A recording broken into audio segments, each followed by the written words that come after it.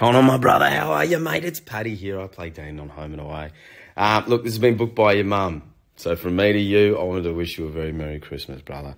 I hope you have a very special day with friends, family, kick back, relax. I hope Santa's good to you, get some sweet presents.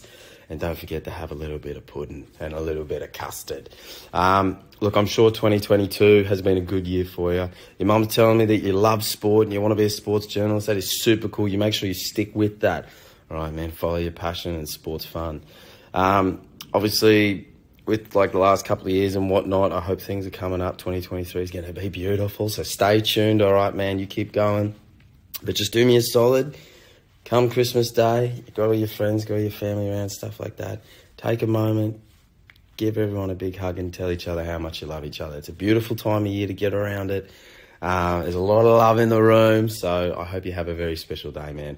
Keep watching Home and Away. Thank you for the massive support. There's some cool stuff coming up in 2023, so stay tuned. Uh, but anyway, mate, I'm thinking of you. Merry Christmas, Happy New Year, and all the best.